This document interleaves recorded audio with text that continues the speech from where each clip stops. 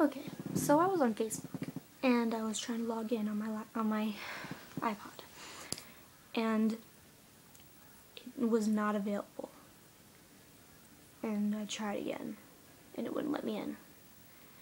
And then I went on my other account because I have two accounts.